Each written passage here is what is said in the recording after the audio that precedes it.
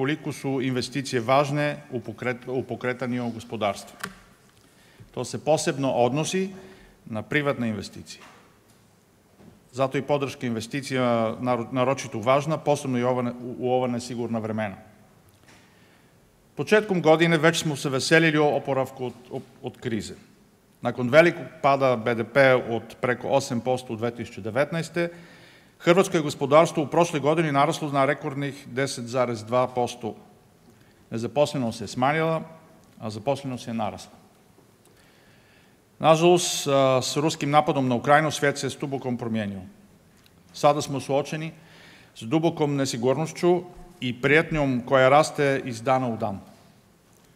Растучи цени енергената и хране погорали су инфлација на рекордно високи разине.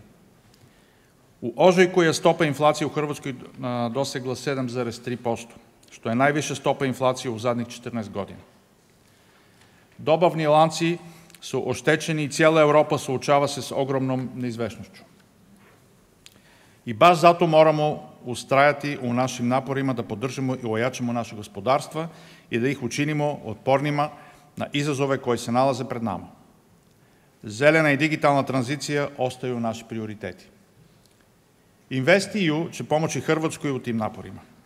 Овој инструмент дио е највечек пакета икад финансиран, финансирано у Европи, од преку 2 трилиона евра у текучим ценама.